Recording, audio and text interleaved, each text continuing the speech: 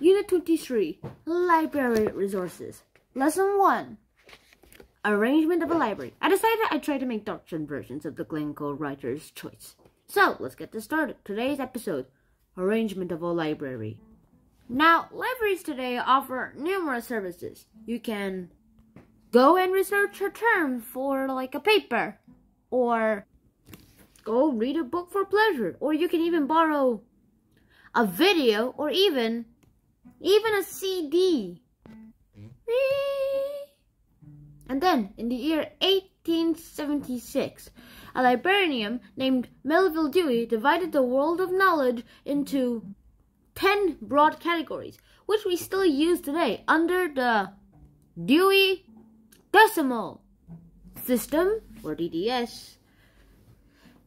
Books are organized according to this following numerical structure.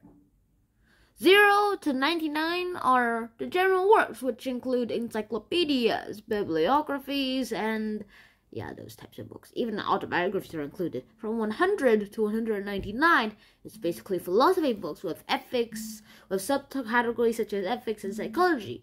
For for the numbers between 200 to 299, it's about religion, which includes theology, mythology, legends, all those shebangs. My favorite part, to be honest. To 300 to 399, it's all about social studies like law, politics, political science, education, all those things. I, individuals and, and societies. From 400 to 499, numbers represent language, which includes dictionaries and foreign language. And from 500 to 599, the sciences, which include chemistry, astronomy, and mathematics. You get the deal.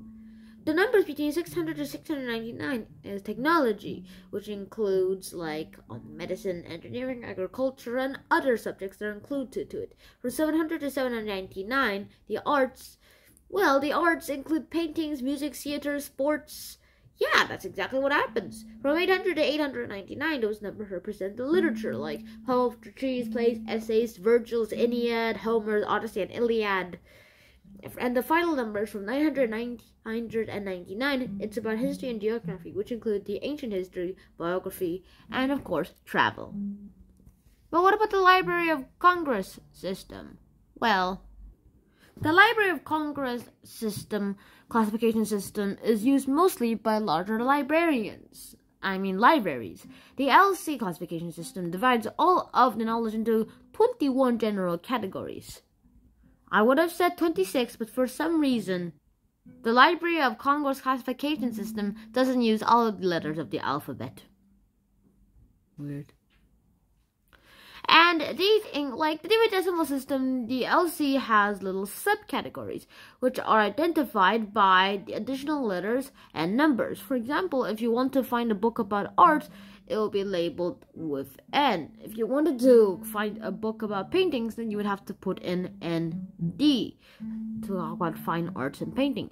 And to make to find more books, well, with the subcategories, you need to add the numbers like Spain, for example, then you would get the L Library of Congress classification number ND 804. And you know the drill. And that's the basics of the arrangement of a library. Lesson number one, done. Quick quiz. Who invented the Dewey Decimal System? Write your answers down in the comments below. And then I'll ans I'll give you the answer in the next video. Bye everyone. Dun, dun, dun,